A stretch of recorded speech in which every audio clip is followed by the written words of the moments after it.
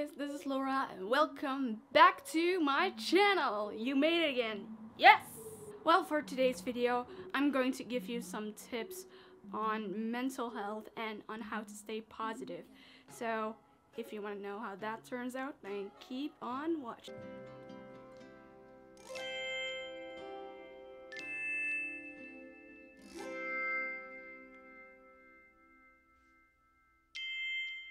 Guys, I know it's been a while. It's six months later, and you want to know where I was. So, I was recuperating a lot for because of my mental health and because I was feeling totally overwhelmed by everything. So, I had to take a break from YouTube. Well deserved break from YouTube because I was feeling overwhelmed by everything and I was thinking that my emotional capacity wasn't able to go on with it. And I had to recuperate a lot and I had to overcome some struggles that I had experienced. And also with the aspect of the situations that's going on in, in the world right now it's very difficult to stay positive and very it's very challenging to stay positive nowadays because with everything that's going on in the world it's very very difficult right now. And and with this video I want to give you some tips on how to stay positive and how to have a positive outlook on life so with this video I want to give you that my first and foremost tip is to obtain positivity.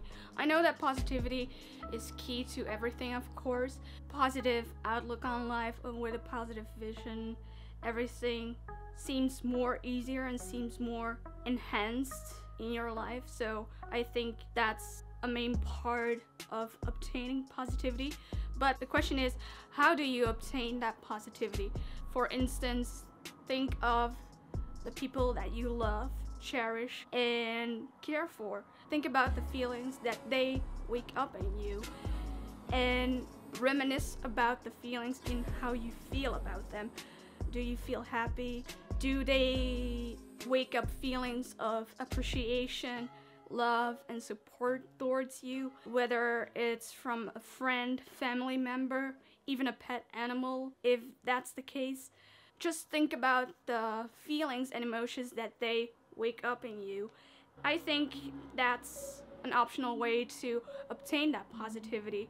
Also, a good thing to do is to have a gratitude journal. Write everything down what you're grateful for and and read it when you're feeling sad or feeling down. Read your gratitude journal to have a clearer vision of what you love and what you appreciate and what you care for and for the people that you care for, appreciate and love, of course, because love is the only way to obtain sort of positivity to make your life more enhanced for it. That's tip number one. Tip number two is to maintain that positivity. Once you obtain that positivity within yourself, you have to maintain it. It's very much encouraged to do things that you love to do. For instance, if you like to read, read a book. If you like to draw, draw some drawings or pictures or anything else. Do the things that you love to do because it makes you more productive. It strengthens you mentally, of course. It strengthens you and it occupies your time to concentrate on a certain activity that you're into. I think that's a good way to occupy your time with. It's also important to have faith and strength within you, to have hope and clarity about your own future and about the things you love and the things that you appreciate in life. Do activities that you love to do. For me, I'd like to go outside, go in nature, walk in parks. I like to draw. Uh, I like to read. I like to I like to listen to music, of course. And I like to do anything that involves my creative endeavors. So that are the things that I love to do and what I'm innate to do, what I feel that gives me life, that gives me a passion to go forward and not feeling stuck in my own head. And I know that I, I've struggled with that before. My third tip is to think that everything will get better eventually. Maybe you might not see it right now. Maybe you might think that. Everyone struggles with their own feelings, with their own emotions. However, have a thought process with the thought of that everything will get better eventually, gradually, over time, when time goes by, everything will get better. I promise you, I've been in that situation before. Everything that involves your mental health, that it will get better eventually, I promise you. So, with the thought process that everything will get better, is to allow your mind to succumb with the flow of the universe and be in the moment with everything. My fourth tip is to meditate.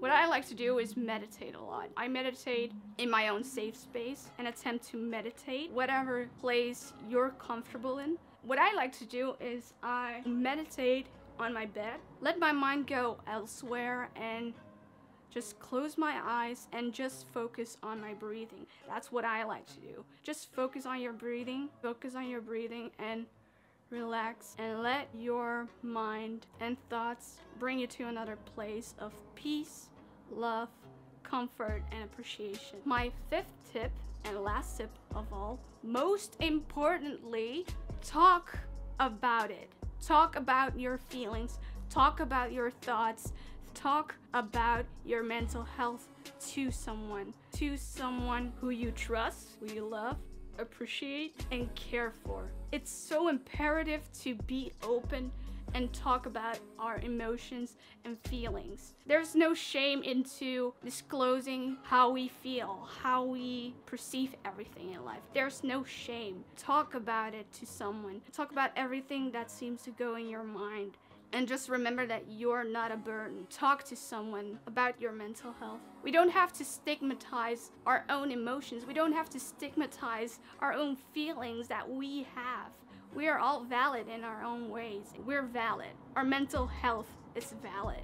So talk about it. It's so imperative to be more open about these subjects in life and to talk about your mental health. If you don't talk about it, then it becomes really, really challenging. So, importantly, to mention is to seek help. Go to a psychologist, go to a therapist if you need help, go to someone who you trust, go to your confidant because our mental health is so important. Our emotions are so important in life. Talk about your own feelings, talk about your own mental health to enhance your life more. We're valid in our own ways and it shouldn't be stigmatized because talking about your mental health and disclosing how you feel about everything is the most courageous thing someone could ever do in their lives because you're not afraid of being vulnerable. Being vulnerable is something to be reckoned with. To be vulnerable is a